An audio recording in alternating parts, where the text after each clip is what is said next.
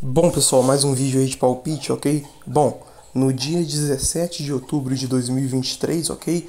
Teremos aí pela quarta rodada das eliminatórias sul-americanas para a Copa do Mundo de 2026, ok?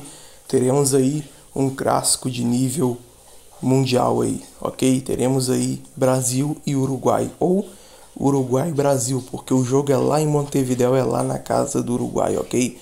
Olha, vai ser um jogo muito complicado, ok? Vai ser um jogo difícil.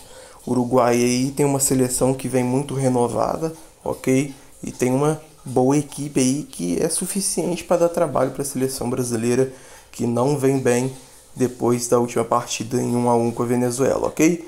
Mas acho que o Brasil é superior um pouco. Manda o Brasil 1, Uruguai 0, ok? Esse é meu palpite para esse jogo aí. Seleção brasileira vence o Uruguai pelo cá de 1 a 0.